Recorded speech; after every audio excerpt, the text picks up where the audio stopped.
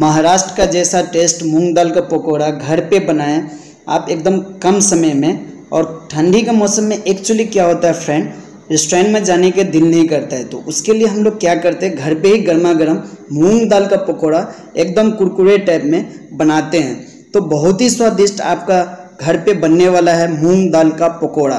तो सबसे पहले हम मूंग दाल ले लेते हैं। मिनिमम 200 ग्राम जैसा आप लोग जितने पीपल्स हैं उस हिसाब से ले लें। और इसमें हम टू पीसेस ऑनियन चॉपिंग करके ले लेते, कीमा करके।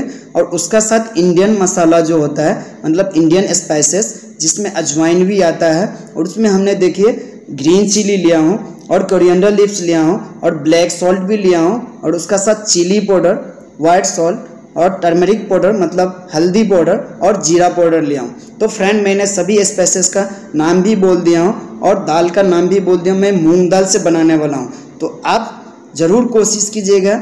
एकदम ये सब आइटम जो है, आपका घर पे अवेलेबल ही रहता है। कोई ज़रूरी नहीं है सबको बाज़ार से लाना है। चना दाल हो या मूंग दाल हो, आप अच्छे से घर पे ठंडी के टाइम में चाय के साथ इवनिंग स्नैक्स में पकौड़ा ले सकते हैं। तो फ्रेंड ये देखिए हमने दाल को तीन चार पानी से अच्छे से धुलाई कर लिया हूँ और मिक्सर में ग्राइंड कर लेता हूँ मतलब पीस लेता हूँ। लेकिन पीसने का मतलब ये नहीं जो आप पूरा अच्छा तरीके से मिंट चटनी की तरह पीस दे।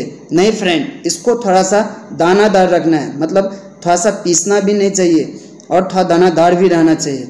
तो चलिए फ्रेंड ये देखिए इसमें हमने वन कप जैसा ऑनियन चॉपिंग किया हो जो था ऐड कर लिया हूँ और उसका साथ हमने ग्रीन चिली जो फोर पीसेस कटा हुआ था, उसको ऐड कर लिया हूँ। और हाफ़ टी स्पून जैसा मैंने जीरा पाउडर और turmeric powder half teaspoon जैसा और स्वाद अनुसार वाइट सॉल्ट ऐड कर लिया हूँ। और उसका साथ हमने देखिए, ये देखिए तीखा लाल पाउडर मतलब चटपटा के लिए और कलर के लिए ऐड किया हूँ। और उसका साथ ब्लैक सॉल्ट भी मैंने ऐड किया हूँ। तो चलिए फ्रेंड थोड़ा सा इसमें कोरिएंडर लिप्स मतलब धनिया पत्ता, ठंडी का सीज़न में तो अवेलेबल ही होता है, बहुत सारा होता है। उसको देने से और बहुत अच्छा फ्लेवर लेके आएगा आपका पकौड़ा में।